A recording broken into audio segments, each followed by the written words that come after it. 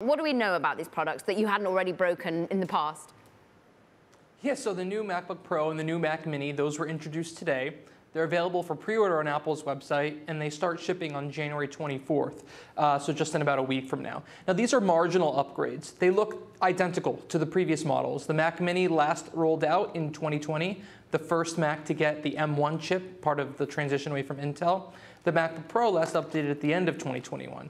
Now, why are these so significant? Well, they introduced the new generation of Apple's chips. So the Mac Mini gets the same M2 chip launched in the MacBook Air and the low-end 13-inch MacBook Pro last year, but it also gets the first M2 Pro chip. That adds a little bit more horsepower on both the CPU and the GPU side.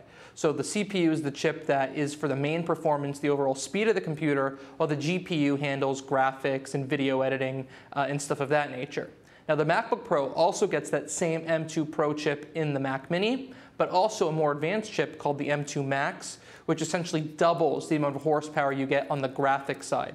So that's really a high-end machine for video editors, uh, programmers, engineers, and such that really need the most horsepower you can get uh, in a laptop.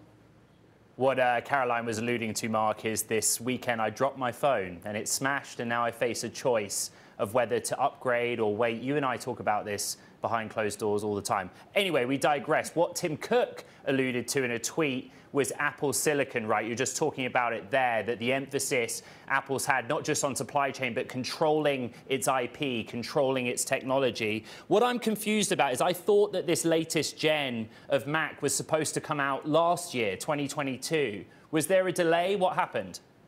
So there was a delay. So the M2 line first started rolling out uh, in last year. It started uh, to launch actually at the end of July. There was a delay back then because of the manufacturing facilities in China. They all got shut down for about a month. That delayed the rollout of the MacBook Air and the 13-inch uh, MacBook Pro.